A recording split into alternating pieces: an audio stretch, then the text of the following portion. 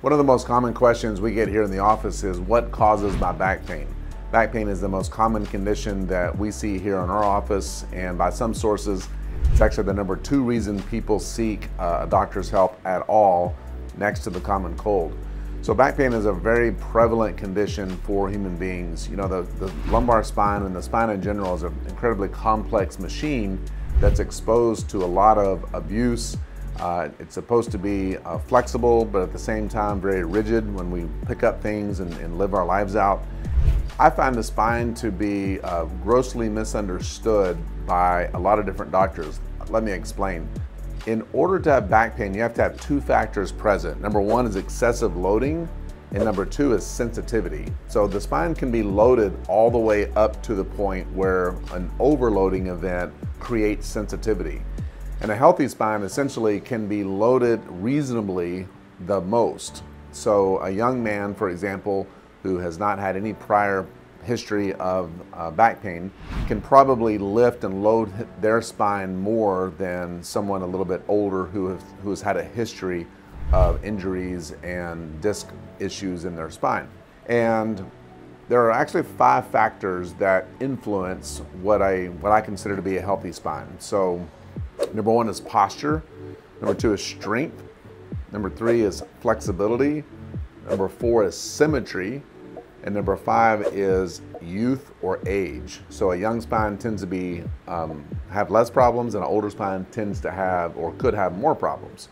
Also, in that category, in other words, things we can't control are history and genetics. Those are um, those influence how much we can lift with our spine as well. So if a healthy spine can be reasonably loaded, then if you overload it, either acutely or chronically, you can get into trouble and you can sensitize tissues. If you have back pain of some type, and even neck pain, which I'll talk about in another video, but if you have back pain of any type, you have some tissue that is sensitized, therefore excessively loaded. And when we start to treat these problems, they're not treated very well, uh, it doesn't seem, because so many people, at least the ones that I see here in the clinic, have such a history of going from doctor to doctor to doctor. Uh, it can be anywhere from your traditional uh, family doctor to pain management specialist to surgeons. A lot of people will go to a surgeon. They don't necessarily want surgery, but they want to go and see what they have to say. And it turns out that if the surgeon doesn't think they need surgery, then we have physical therapy to kind of revert to, which does address some of the components of what a healthy spine, what what's needed for a healthy spine, uh, mo mostly strength. They do address posture, uh, flexibility, and symmetry, but not necessarily the unloading of the facet joints. Those facet joints, which are basically where the spine fits together, turns out if those joints are very tight, they're more loaded, and if they're operating better, they're more unloaded. And that can happen asymmetrically. So anything that we do here in the clinic to help our patients is an effort to unload the spine.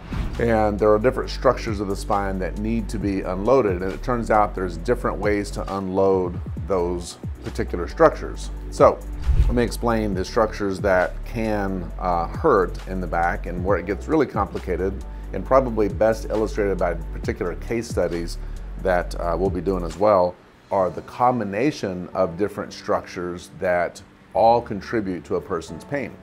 So let's talk about these structures real quick. First of all, the facet joint. The facet joint is the joint that connects the spine together.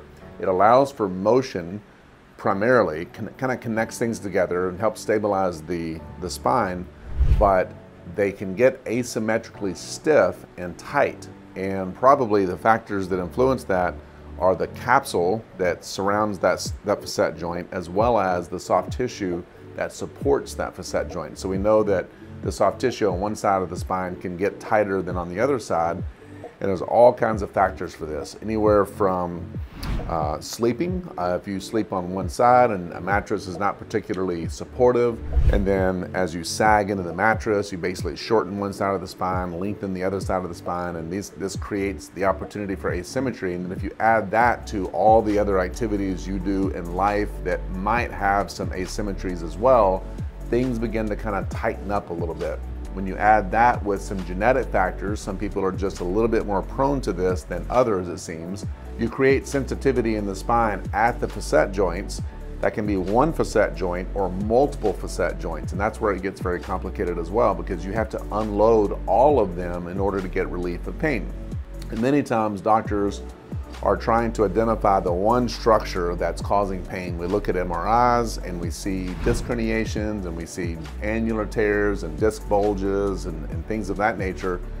But sometimes a person's pain profile is multifaceted. There's, there's multiple structures that are actually causing the pain and not all of those structures on MRI are obvious that they're hurting. So when we try to treat people successfully, we basically unload the spine. So everything that loads the spine more, patients instinctively know probably is not helping them. And an example of that would be if you trigger your back doing almost anything. It could be lifting something as little as a pencil, lifting a grandchild, uh, helping someone move. I had a lady recently lift the corner of a couch uh, to try to put it up on some blocks to do something underneath there.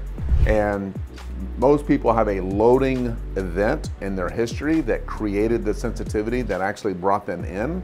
And when their spine is sensitive, when it's been triggered, they instinctively know to try to unload it. You know, rest. They, they ask me about heat. They ask about ice. They ask about uh, hanging upside down. They ask about what's the best way to sleep? Should I put my knees up? And the bottom line is if you filter everything through this loading versus unloading model, anything that loads the spine more creates more pain. Anything that unloads the spine and feels better creates less pain. That is the answer to the question. So if heat feels better and relaxes the muscles and the muscles that run up and down the spine, if they aren't compressing the spine as much and it makes you feel better, that's the right answer. Now, it turns out that manual therapies, uh, certain manual therapies that can more aggressively unload and, and restore flexibility at the facet joints have a longer lasting effect on unloading those tissues and allowing them to desensitize. And that's what happens to a lot of people as well. So when you trigger the spine, because you overloaded it, and that overloading can be acute, it can be chronic, or it can be an acute episode in the presence of chronic loading. So those are all kind of situations that we see. The acute person is more of the young person who um, overloads their spine, like young males are notorious for this. They overload their spine either in squats or deadlifts. Uh, it's a very common thing that we see. And then you have older people who are just, you know, for whatever reason, they've sat for a long time in their career, or maybe they've uh, participated in activities such as repetitive bending, and that can create problems, or even operating heavy machinery or driving uh, big trucks that kind of load the spine and vibrate it over time. All of these things create loading that can build up over time, and if the sensitivity builds up with the mechanical loading, person's gonna have back pain. So we have to mechanically unload those tissues and we have various techniques for that, which I won't go over in this particular video, but if you do not unload those tissues, you are not going to get lasting relief. And that's really the, the answer to the question of what causes back pain. Well, the, the answer to that is pretty complicated as it turns out, but if you look at it through the lens of loading creates the sensitivity if you have sensitivity, you have to unload the spine. And if you understand the tissues that are involved, such as the facet, which we talked about, the disc between the vertebrae are another tissue that can be overloaded and create sensitivity. You can have a loading of the actual nerve and you're gonna have a particular set of symptoms if you are loading up that nerve, literally pinching the nerve with various things. Uh, that's a complicated video in and of itself, which we could talk about later and then the actual tissues themselves, the connective tissue, the muscles, the fascia, everything that surrounds the back. Uh, when those tissues are tight, uh, they're actually loading in tension. And so when those tissues are in, are in tension, they're shortened, they don't allow the spine to work the way that it's supposed to. And these are all very subtle changes with regard to how your spine works. And so if you are experiencing back pain of some sort, especially if that back pain is relatively chronic and it's kind of waving between kind of okay, not so okay, okay, not so okay, you'll notice that additional loading is probably triggering some pain. And when you find a way to unload it in some way, either by stretching, doing some exercises, uh, anything like that, will potentially unload the spine and help to desensitize it. You just don't build very much performance margin. So performance margin is a fancy way to explain the idea that we have some buffer between our ability to load the spine without triggering it. And the problem with triggering it is the idea that you don't realize that you're approaching that limit or that line. It happens all at one time very often. And it's a little bit like tripping a breaker at the house. If you trip a breaker at the house, you don't often realize that you were already overloading that circuit or you wouldn't have turned the hair dryer on with the toaster oven and the microwave all at the same time. And often when we do trip the breaker at our house, we realize that um, we had it all overloaded in the first place.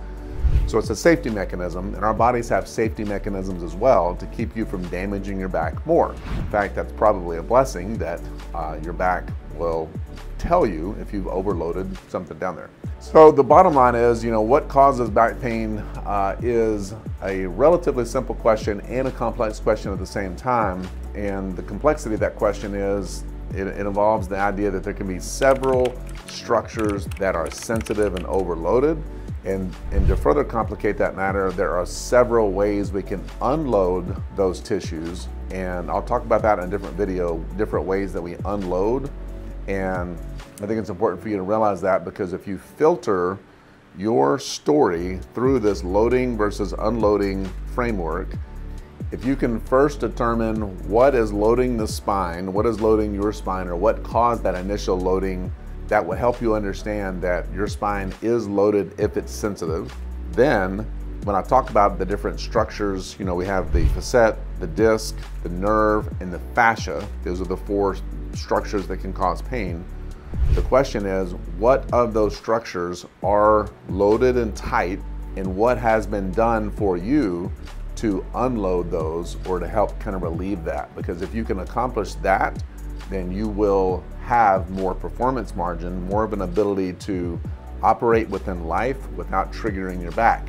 Now, I will say this, a healthy spine can be reasonably loaded, uh, but a younger spine that has not been injured before is gonna have a higher performance capacity than a, an older spine who has had some problems. And so we have to be able to not have a too high expectation of how much we can load our spines given all of the factors that are at play. And age is one of those factors, genetics is another one of those factors, and history is another one of those factors. Those are the ones we can't control. But we can improve our strength, we can improve our posture, we can improve the flexibility of the spine and the symmetry of the spine because literally symmetry is when we're loading one side more than the other. If a person has pelvic distortion, that's where the pelvis is a little crooked. We can literally see that. When a person has pelvic distortion, they're loading one side of the spine more than the other. It's very important to, to realize that. So hope that helps. Uh, I like to, I explain the same thing to patients uh, here in the office on a regular basis. I make this video to help further explain this to our patients and anyone else who can benefit from it. But yes, filter everything through the lens of loading versus unloading and of the different structures in the back that can hurt what has been done for yours to help unload those tissues. And if you want to learn more about that, then I'll link a video uh, here on the screen so that you can watch what is done for each one of the tissues to ma maximally unload that. And I'll talk more about that. Thank you.